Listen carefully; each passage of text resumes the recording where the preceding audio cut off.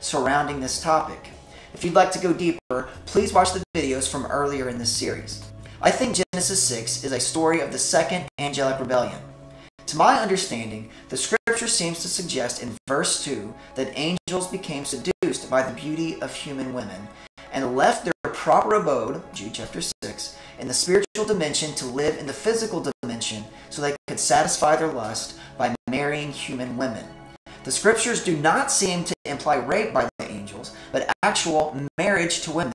When Genesis 6 2 says that the sons of God married daughters of Adam, and is the same word used commonly throughout the Old Testament to suggest covenant marriage.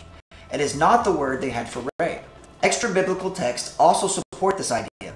I highlight this point to explain why the humans were held responsible for this sin. The satanic kingdom can do nothing in this world without human consent, as authority was given to us. Humanity was guilty and deserving of judgment because they welcomed and perpetuated this evil and abhorrent union.